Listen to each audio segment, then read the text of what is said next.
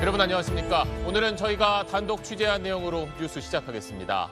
화재로 23명이 숨진 경기도 화성 공장이 한 달 전 자체 안전 점검에서 스스로 미흡하다고 평가했던 걸로 저희 취재 결과 확인됐습니다. 이 결과는 산업안전보건공단에 제출됐습니다. 화재 직후 공장 대표는 평소에 안전교육이 충분했고 또 문제가 없었다고 말했었는데 사실은 회사도 스스로 안전하지 않다고 판단하고 있었던 겁니다. 신용일 기자가 단독 취재했습니다. 화성 공장 화재 한 달 전인 지난 5월 24일 아리셀이 작성해 한국산업안전보건공단에 제출한 자가진단 평가표입니다.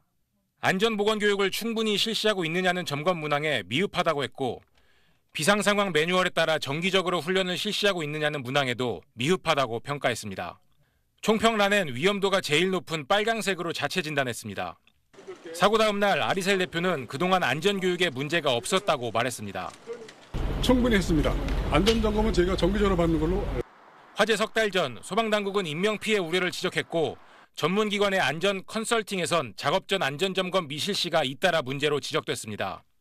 평소 안전 문제가 없었다던 대표의 해명과 달리 아리셀 스스로도 사업장이 안전하지 않은 상태였던 걸로 판단했던 겁니다. 유족들은 특히 참사 이틀 전에 발생했던 화재 사건 이후에도 회사에서 별도의 안전 교육은 이루어지지 않았다고 주장했습니다.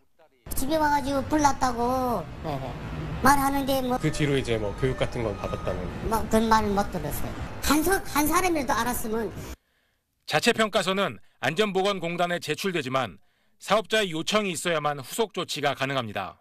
때가 되면 진단과 검사만 형식적으로 되풀이되고 그 결과를 반영해 개선된 건 없었던 겁니다.